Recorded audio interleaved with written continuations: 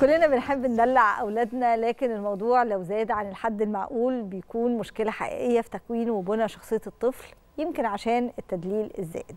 في أطفال كده بتحس إن لازم ناخد بالنا أو إن إحنا لازم نحس إن الأطفال دي لازم ناخد بالنا منها لأن في أمهات وأبهات كتير ليهم طرق في تربية أطفالهم مش اللي إحنا اتعودنا عليها. عشان نقدر فعلا نبني أجيال واعية وقادرة إنها تبني بلد بجد وتشرفها في كل مكان أعتقد إن إحنا لازم نتوقف عن التدليل المفرط وأنا مش صحيح. بعمل كده صحيح منى. أنا معاكي فعلا أي حاجة في الدنيا لما تزيد يعني أي حاجة اللي يزيد عن حده زي ما بيقولوا كده بينقلب ضده تدليل المفرط للأطفال من الأساليب التربوية الخاطئة جدا ممكن تؤثر سلبيا على الشخص أو على الطفل عاطفيا واجتماعيا ونفسيا ممكن تسبب له مشاكل كمان في التعامل مع الآخرين. العلاقات ما بتكونش علاقات آه، صحية. إزاي أحافظ على شخصية طفلي تبقى شخصية سوية أديله حنان وأديله دلع وكل حاجة لكن في نفس الوقت يبقى شخصية قوية وقادرة إنها تتعامل مع الآخرين. أسئلة كتيرة جدا هنسألها حوالين الخطورة الخاصة بالتدليل المفرط للأطفال مع دكتور نور أسامة اللي دايما بيشرفنا وينورنا في صباح الخير يا مصر استشاري وتعديل السلوك. أهلا بيك يا فندم. أهلا صباح الفل. صباح النور. الدلع وتدليل الأطفال شايفه إزاي؟ إزاي ندلل أطفالنا بشكل صحي لا يؤثر على نفسيتهم طيب عايز أبدأ معاك إن في 1989 كانت سنة مهمة جدا عشان آه، طلع مصطلح مهم جدا في كتاب اسمه العواطف لها عواقب. دكتور فريدريك كان بيقول مصطلح متلازمة الطفل مدلل وسماها متلازمة علشان هو وصل إن في بعض الاضطرابات النفسية لما واحد بيكبر زي النرجسية التلاعب النفسي اضطراب الشخصية الحدية قد يحدث بنسب كبيرة من اطفال المدللة. بعد كده إدى إكستريم بقى تماما آه، سماه متلازمة العبقري الصغير إن هو الشخص المتمرد ده في حتة وده في حتة تانية خالص. فكان بيتكلم عن متلازمة الطفل المدلل إن إحنا بنلبي احتياجاته في كل شيء. يعني من أول سنة ونص المفروض يتحمل المسؤولية بمساعدتي. يلا نعمل كذا يلا نعمل كذا يلا نشيل الطبق الطبق بلاستيك الكوباية البلاستيك هكذا. إحنا بنغلط غلطة كبيرة جدا بس هو صغير هو لسه لما يكبر شوية. بعد كده الطفل ما بيتعلمش الروتين ده ما هو الشخصية مجموعة سلوكيات. فبيكبر مدلل غصب عني من غير ما ياخد بالي. إن أنا كل شيء مش شرط أكون بجيب كل شيء. أنا أصلا مش محملاه مسؤولية. باجي عند المدرسة يلا رايح الحضانة أو بريكي أنا حاطط له كل حاجة في شنطته. طيب لو نسي حاجة لا برجع أجيبها له تاني. فبيجي له حاجة اسمها الدجمه خلاص هو مرحلة التعود إن ماما هي المنقذ أو بابا المنقذ اللي بيعمل كل حاجة. تصريحه شعري هو اللي بيلبسني غسيل سناني كل حاجة هو اللي بيعملها لي. تاني مش شرط يكون التدليل هو المال. لا هو التدليل هو عدم تحمل المسؤولية. والمنقذ الحقيقي هو ال- الأب. والأم. فأنا كبرت لحد سنتين ثلاثة مش بعمل أي حاجة. هم لازم يساعدوني في كل حاجة. بوصل لمرحلة الحضانة خلاص أنا كده أكتر من 40% من القيم السلوكية اكتملت. فأنا بدأت بقى إيه خلاص أبقى شخصية اتكالية. بتكل عليهم في كل حاجة. طيب مع الوقت بتعود على ده وبرمي أسلوب إسقاط. يعني لو بابا أو ماما طلبوا مني أي شيء إيه ده بتطلبوا مني ليه؟ بكون متضايق جدا. فببدأ مرحلة اتعودت على كده. آه طبعا. مرحلة الابتزاز النفسي. بتوصل بقى لدرجه إحنا بنشوف في أبطال رياضيين أقوياء مدللين. أنا بتكلم عن تحمل المسؤولية. بس بتوصل بقى الناحيتين. الطفل المدلل اللي مش بيلعب مثلا رياضة أو عارف الموهبه بتاعته أو بينزل حتى يعمل حاجة في حياته بيكون رافض آه، اللي هو يعمل أي حاجة زيادة. رافض يذاكر رافض ينزل رياضة رافض يخرج رافض ما عندوش الرغبة والشغف في أي حاجة إلا في العالم الافتراضي. طيب لما بتيجي عند خمس سنين ما بتحملوش المسؤولية تماما إيه اللي بيحصل؟ بيحصل لي مشاكل كتيرة جدا. بيبدأ يرمي إسقاط على الأب والأم فبيعمل لهم حاجة اسمها التمرد التفاعلي والتسويف بقى. اعمل كذا اعمل كذا لا. بي بيكون قاصد إن هو حاجة اسمها التلاعب النفسي. الابتزاز العاطفي يضايقهم من أجل المضايقه يضايق بابا أو يضايق ماما عشان خاطر هو ما كانش متعود وهو صغير على تحمل المسؤولية. فأنت دلوقتي طالب منه كده. أو الناحية التانية لو كان من الشخصيات مش القوية فمش قادر يواجه فيضايقهم فيعمل إيه؟ الاضطراب المصطنع. وكتير جدا من أطفال دلوقتي ودخول مرحلة المراهقة عندهم اضطراب مصطنع اللي هو إيه؟ عايز يجذب الانتباه. عشان خاطر بابا وماما كانوا دايما بيشجعوني بدأوا ينسحبوا عشان مش بعمل السلوكيات اللي هم طلبوها مني لما كبرت شوية. فيكتب على الفيس أنا عندي cancer يقول يقول لأصحابه أي قصص وهمية. أي قصص من أجل. لفت انتباه الآخرين. صحيح. ما هو كان واخد جرعة من الحنان والحب المعتدل اللي كان موجود فجأة انسحب تماما. في بعض الأوقات الموضوع بيتحول لو لو كملنا لحد المراهقة إلى الشخصية المدللة. بيوصل إلى النرجسية. حب الذات أنا بحب نفسي بحاول محاولة ايذاء الآخرين ودي بتحصل في الطفولة الطفل المدلل إن أنا بعمل له كل حاجة. في ظهور بيبي جديد كان صغير أو كبير مع وجود أي نقد أصل ليك أخ بص إزاي بيعمل حاجات أنت مش بتعملها أو أي حاجة أو حد مميز بيبدأ قاصد يأذي الآخرين سواء كان في الكذب الانتقامي من أجل محاولة ايذاء الآخرين أو في الفصل أو بيحاول يزيد أي شكل من الأشكال. بعد كده بيبدأ يمدح الآخرين ما عدا الأب والأم. عشان شايف اللي هم بيأذوه وبيكون قاصد كنوع من أنواع التمرد السلبي أنه- أو النشوز الدفاعي ان هو يضايقهم. ده عيال صغيرة يا دكتور. ده ده عيال عندهم ثلاث سنين وأربع سنين وخمس سنين. كل اللي حضرتك بتقوله ده بيدور في مخهم. ده يعني ما لسه ما عندهمش القدرة إنهم يتحكموا في فرشة أسنانهم زي ما حضرتك بتقول. آه، ده إحنا بنحلله بناء على حاجات حضرتك قريتها ودرستها. لكن هو الطفل أو الطفلة في السن ده بيبقى واعي لكل التصرفات يعني كل الحاجات دي بتدور في مخه ده يبقى طفل عبقري وخلاص ما نضغطش عليه بقى إحنا مش محتاجين نساعده في أي حاجة. كل الأطفال طالما هم اتولدوا ما عندهمش مية في المخ أو ضمور في المخ أو أي حاجة يبقى طفل سوي لو ما كانش عنده الح- الحاجتين دول. طيب هو طفل سوي هو طفل عبقري. بمعنى الطفل وهو بيرضع من والدته إحنا كان في شهور بيكون فاهم. بيبص على والدته رياكشناتها. ممكن يعض والدته وهو بيرضع فبيشوف reaction ات tone الصوت فبيتعلم إن ده حاجة صح ولا غلط. عشان كده بنلاقي الأطفال وهم صغيرين تعلم لما بي بيمد إيدهم مثلا هم بي بيعرفوا ال- الأكشن ده حلو ولا وحش من الضحكة. فالأب بيضحك والأم الأم مكشرة فهو مش قادر يتوصل بس هو عبقري. اللي بيعمل بقى ال- الحتة الفارقة إن هو يطلع عبقري زي أمثلة كتير. يعني مثلا أنا دايما بفتكر بيكاسو قال لك أنا لو كنت آه، في الكنيسة ماما قالت لي كان زماني بقيت رئيس القساوسة أنا لو كنت في الجيش كان زماني قائد الجيش بس أنا بقيت فنان فبقيت بيكاسو. فكلنا عباقرة. اللي بيحدد ده أول 8 سنين في الطفولة. يا. تحط قمع لفظي وبدني جميل. واحد عبقري. طب خلينا نتكلم بشكل عملي شوية يا دكتور نور. يعني دلوقتي أنا إزاي؟ طبعا الأطفال لما يكبروا شوية نتكلم على سبع سنين ثمان سنوات أو غيره محتاجين فكرة حنان الأب والأم فكرة الحنان والتدليل دي حاجة مهمة جدا لأنه الطفل بيشعر بالاطمئنان إنه أبوه وأمه بيحتووه وبيدوا له مشاعر بتبني شخصيته وبتخليه واثق من نفسه.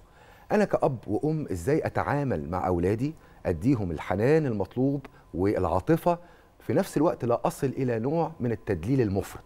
المعادلة دي الآباء والأمهات يعملوها إزاي؟ إيه المواقف اللي تخليني أقول لأولادي فعلا أديهم ال- الجرعة المطلوبة من الأمان والحنان وغيره وفي نفس الوقت لا أفسد شخصيته؟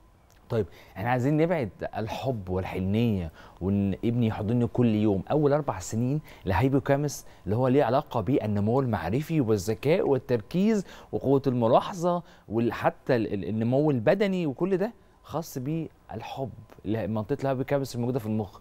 فعايزين نبعد. كلامك حلو جدا. نبعد بقى إن نقول للناس إن فكرة الحب والأحضان كل ده عن المشاعر لاولادي ده مش تدليل زايد تماما. إحنا بنتكلم عن تدليل الزايد عدم تحمل المسؤولية تماما. مم. المسؤولية خاصة. اللي هو أكله آه، طبقه كوبايته آه، ما سنانه مش هياكل ومش هيغسل سنانه وهيجي له سوسة وأنا اللي هاخدهم أروح بيهم لدكتور الأسنان. ما هو لازم أعمل الحاجات دي. طيب. ولادنا بيكون هل بيكون قاصدين يغلطوا؟ أوقات آه. هو بيبدأ يجرب. هو ما عندوش الشغف إن هو هي حسب يا جيناتيك يا موضوع من التنشئة الاجتماعية. قد يكون جيناتيك هو مش عايز يتحمل المسؤولية. طالع الأب أو الأم. طب وارد. أو من التنشئة الاجتماعية عشان هو صغير ما اتعودش. فبيبدأ يجرب. لو ده جاب معاه نتيجة فيبدأ يبتزنها عاطفيا. لو حطيت لابني أكل هو مش عايز ياكل فببدأ أجمل الأكل بحط له جزره والبتاع بشكل عينه وبش... الحاجات اللي في الأول. برضه مش متقبل بسيب له الاكل زي ما هو محدش هيموت من جوع. بس لو فضلتي تزن على بس طول هيجي له سوء تغذية. السوء التغذية هي النحافة الشديدة أو السمنة المفرطة. بس إحنا ممكن نحط له يعني دايما بيقولوا ليه طب أطفال ليه أو تغذية أطفال؟ عشان أعرف إيه الحاجات اللي فيها قيمة غذائية. هي مش بالكم هو بالكيف. طب فشوف الحاجات الكويسة اللي ممكن ياكل بس ال- ال- التعامل السلوكي في موضوع الأكل لازم تاكل لازم تاكل. زي مثلا بعض الجرثومات الكلا زي ابني بيرفع مثلا تيشيرت في أول أربع سنين بيكتشف أو أول خمس سنين. فأول تقولي في حاجات محتاجة تجاهل إيه اللي انت بتعمله ده؟ بس عرف إن ده بيضايق ماما فيبدأ يستخدم ده كنوع من أنواع الابتزاز. مدى الحياة لحد ما تجاهله. هو موقف فيعدوا مرور الكرام. فلما يعرف إن ده حاجة اللي- ماما يضغطني عليه طب مش واكل. انت مش عامل ده. أوكي. فدخلت في موضوع الرشوة. فهم يبتزونا. ففكرة بقى اللي أنا أسيب ابني في بعض الأوقات لازم يعمل ده. فالفكرة بقى إحنا بنغلط اللي إحنا مش بنحبب ولادنا في الحاجة. مم. يعني قوم اعمل قوم آه، سوي. كأنها أوامر. بالظبط. وهو هيرفض الأوامر. مش. مش نعمل مشاركة. مم. ويبدأ يروق السرير مع بعض. ونبدأ نغني. فابدأ أعمل له بيئة محيطة أشخاص أشياء أماكن اللي هو مبسوط اللي إحنا بنغني مع بعض مش بكرهه في الحاجة ومش تعويم الكلام. لازم أحط له تاسكات يعملها وبناء عليه هياخد هدية مش هياخد رشوه بعد كل حاجة هيعملها. دي مهمة جدا. فلما ياخد حاجة الهدية طويله المدى هيبدأ يتعود يعني تدريجيا. يعني إيه أفرق بين الهدية والرشوه إزاي؟ طيب. هو هو بالنسبة لهم الشباب الصغيرين مرتبطة إنه لو عملت الكذا هتاخد الكذا.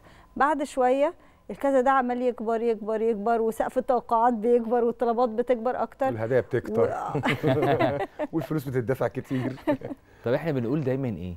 الفرق بين الهديه والرشوه إن الرشوة فور الشيء الكويس اللي عمله. دي اسمها رشوة. اعمل كذا وأديك شوكولاتة. اعمل كذا وأجيب لك حاجة فلانية. دي اسمها رشوة. يبدأ. يتعود عليها ودايما بقول الهدية قصيرة المدى وطويلة المدى قصيرة المدى دي آخر اليوم بناء على التاسكات عاملها واحد اتنين تلاتة أربعة فهناخد حاجة اكسترا هنعملها النهارده ولازم أعرف إن القيمة المادية بتاعتها الموضوع يكون معنوي بحت إن. القيمة المادية الطبيعي إحنا بنعمل إيه الموبايل أساسي التابلت أساسي مم. الكمبيوتر أساسي مم. التلفزيون أساسي فكل حاجة باساسيه مم. بس لما أبدأ أسحب الحاجات دي والحاجات دي تبقى هي المكافئات. أنا مش طالع بني آدم مادي. بقت الموضوع بكام؟ طب آخر أسبوع أنا بنوع الهدايا. أنت لما تقولي له مثلا آخر أسبوع هنروح مكان فلاني منطقة سياحية ولا مكان فلاني عن اختيار محدد هو هيكون مجبر يختار المكان حتى لو حاجات ما بيحبهاش حتى لو حاجات أثرية. حاجة ليها علاقة بالكتب هو بيكرهها مثلا. بس هو ملزم خلاص ما هو في البيت.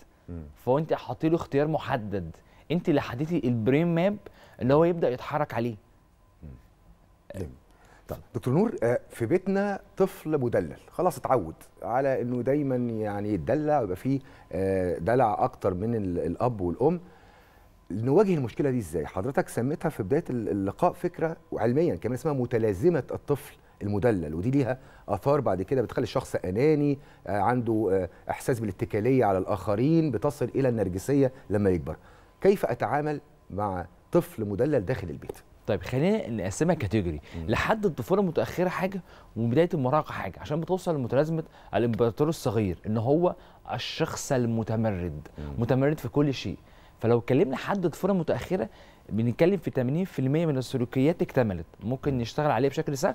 آه ممكن نشتغل اللي عليه هي لغاية سن كام؟ لحد تسع سنين. تسع سنين. عشان 10 سنين بداية المراهقة. وفي بعض الأطفال للأسف في ممكن المراهقة تبدأ كأفكار من أول تسع سنين. بس نتكلم يعني تسع سنين. طب هنعمل إيه؟ هنبدأ نعيد تاني الروتين. اه- آه شخصية مجموعة سلوكيات. نبدأ نحط روتين تاني بسلوكيات مختلفة فيها تحمل المسؤولية. هنا هيخش مقاومة السلطة. هتح- هتحببيه في حاجة. يعني هتعمل واحد اتنين تلاتة أربعة. هو كده كده في حاجة اسمها defense mechanism mechanism ات دفاعية. هو مش بني آدم إحنا أنا الكبير أهو وعايز أبدأ أتغير مش بسهولة. طب. فلازم أحببك في حاجة. وفي نفس التوقيت في عقاب معنوي بعد كده عقاب مادي من حاجة اللي أنت بتحبها بعد كده ببدأ أديك أعباء إضافية جوه البيت وببدأ أزود الموضوع تدريجيا. فيبدأ يكره اللي هو يبدأ يتمرد أو يعمل السلوك الغلط. ويكون غصبا عنه هيعمل السلوك الصح عشان يبدأ ياخد مكافأة عشان اللغة اللي هو فاهمها وهو صغير لغة الثواب والعقاب. وهيبدأ يبتزني وهيبدأ يا إما يبتزني فتراجع في القرار فيبدأ يكرر نفس السلوك أكتر من مرة. يا يبدأ يقول لك أنا مش فارقة معايا فلازم أكمل فهنا هنا تظهر مقاومة السلطة. طيب بوصل من أول 10 سنين لازم أشوف هل هو تحول إلى شخصية نرجسية؟ هل هو تحول لاضطراب مصطنع هل هو اضطراب تع- تعرض لاضطراب تعرفها إزاي دي؟ يعني إيه العلامات اللي تقول لي انه انه بقى عنده اضطراب في الشخصية؟ طيب الايذاء ايذاء الآخرين. بدأ شايف هو بيتكلم التعالي والتكبر الغير طبيعي. سوء في التحصيل الدراسي. بقى ال- ال- المجموعة اللي حواليه أصدقائه كلهم بينفروا منه. بيجي لي شكاوي من مدرسة إن هو ما بقاش بقى عدواني أو بقى عنيف. بس ما بتبقاش واضحة قوي كده يا دكتور. اللي حضرتك بتبقى واضحة عشان حضرتك مختص. لكن بالنسبة للأهالي بتبقى في mixed signals أو في إشارات متضاربة. لأنه الولد أو البنت مش بتبقى واضحة كده. هي طول الوقت عدوانية بتبقى عندها تبريرات أو بيبقى عنده تبريرات. مش بيبقى طول الوقت مش بيحصل دراسيا بيبقى بيحصل في جزء. ممكن يكون بطل رياضي ممكن يكون متفوق جدا دراسيا. ولكن سلوكه ابتدى يحيد عن الشكل اللي هو كان متعود عليه. بتبقى في حاجات متداخلة ما بتبقى بتصعب الموضوع على طيب. الأهالي. في حاجات بتعدي ولا عليا أنا بس لا لا كده. ولا إيه؟ في حاجات بتعدي مرور الكرام بتفاوت بس لو وصل اضطراب هيبان. مم. يعني لو وصل اضطراب لا هو أصبح بقى عنده في فرق بين الشخصية والسلوك. يعني ابني جاله شكوى منه كل فترة كده فترة بعيدة خالص آه، عمل عمل حالة من عضو عدوانية أو العنف. ده سلوك. آه، حاجة عارضة حصلت معاه. بس لما يجي لي الشكوى المتكررة في سوء تحصيل دراسي في التعامل العنيف بدأ يجي لي كوابيس بالليل بدأ يأذي إخواته أو بدأ يعمل حركات غريبة بدأ يعلي صوته جوه البيت وممكن يق- يقول ألفاظ آه، بذيئة أو بدأ يقعد لوحده انطوائية فترات طويلة أصحابه أو أهالي أصحابه بدأ يشتكوا منه حتى لو كان بطل في رياضة هيبدأ التحصيل بتاعه أو الأداء بتاعه يقل. ده اضطراب. الاضطراب ليه معالم ما ينفعش يعني ما فيش تفويت فيها. فلو جالنا الحاجات دي إحنا كده في مشكلة إحنا محتاجين نروح مختص الأول. طب لو عدى المرور الموضوع على الحل الوحيد في في الحتة دي إن أنا أحط الحاجات آه، الاختيارات المحدده أبدأ أقلل الإجبارات. أبدأ أعمل جسر التعاون معاه. صحيح. أبدأ أحكي له قصص حاجات اللي بنعملها دي. نعمل اكتيفيتي كتير جدا مع بعض عشان ساعتها هيكون حس ان هو كبر في اي إجبار هيعمل له نوع من أنواع القمع وخصوصا إن أنا أنا أنا غلطت اللي ما عودتوش على الروتين وأبدأ أنا بشوف إن ال system أهم من ال target فال system حتى لو في تحسن في الأسبوع 1% أنا كده ماشي على على المنوال الصح. دكتور نور أسامة استشاري تعديل السلوك نورتنا وشرفتنا دكتور. شكرا صباح الفل عليكم.